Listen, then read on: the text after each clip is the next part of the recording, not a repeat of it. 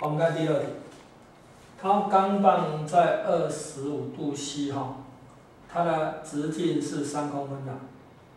这个时候，铜环它的直径是二点九九二，所以说钢棒呢塞不进去。好，啊，我现在给它加温了，那是线膨胀系数比较大，所以它的膨胀比较多，膨胀比较小。它多少温度哈，这两个直径一样，那它就能够把它塞进去。好，那是怎么做哈？当它能够塞进去的时候，它的这个长度哈，就三。乘以呢，这个是钢的，是一加，哎，阿尔法，阿尔法是十一，乘以十的负六，它的温度我叫大 T，T 减掉二十五度了，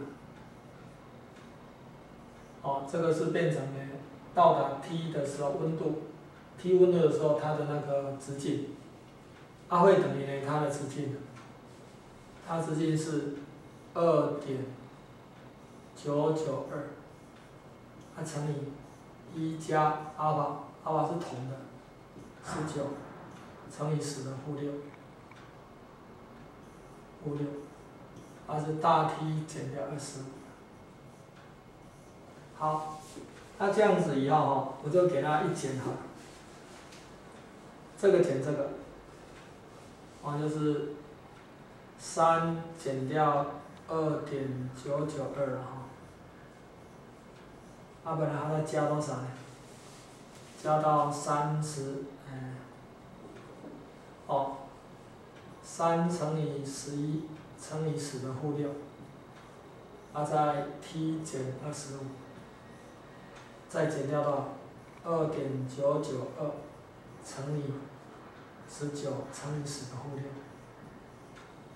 ，T 减掉二十五，这个等于零啊。啊，不过哈。嗯，因为它后面有乘一些东西嘛，所以这两个几乎一样，这个就把它当成三，那这两个就会合并，合并变成多少？三啊乘以 T 减二十五，啊然后这边的话变成是十一减十九，十一减十九，啊乘以十的负六，好把它移过去以后就变成八，就变成啊这个是多少？这是。呃，八乘以十的负三呢？好，不要零点零零八负三，八会等于多少？八移过去，这里也是八，三乘以八乘以十的负六，它再乘以 T 减二十五，那八消掉，好，八消掉，然后这个是约掉呢，这十的负三。所以变成多少？T 减二十五等于嗯三分之一乘以十的负三，哎十十的三次方，三分之一乘以十的三次方。那这个大概多少呢？哎零点三三三吧，哈。三点三乘以十的负二，大概三百三十三度。所以 T 等于多少？